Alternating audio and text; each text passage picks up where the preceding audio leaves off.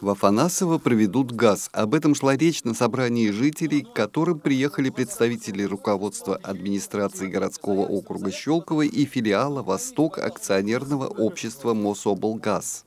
Благодаря программе губернатора Московской области сегодня вот такие вот отдаленные населенные пункты имеют возможность подключиться тоже к газовым сетям.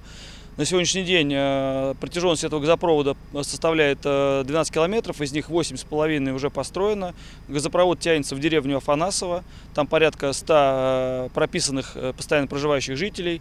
На сегодняшний день 30 домов подали заявку на подключение газовым сетям. Значит, планируем закончить работы в четвертом квартале текущего года.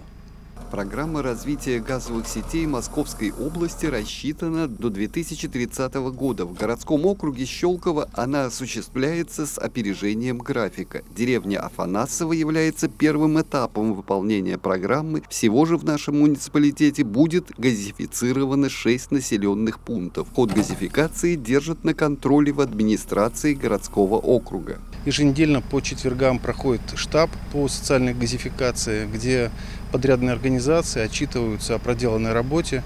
Собственно, собираем информацию от жителей, то есть имеем обратную связь, ну и стараемся оперативно реагировать на все чаяния и просьбы населения.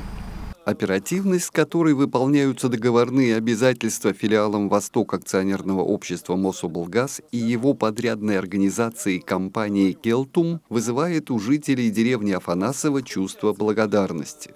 Мы э, хотим э, выразить благодарность от всей деревни, реально от всей деревни, за то, что э, на нас обратили внимание и губернатор, и Мособлгаз принял не последнее участие, и, соответственно, администрацию Щелкова и всех-всех людей, которые вот для нас сделали и добились то, что у нас будет газ. Андрей Цеханович, Александр Аржевский, Щелковское телевидение.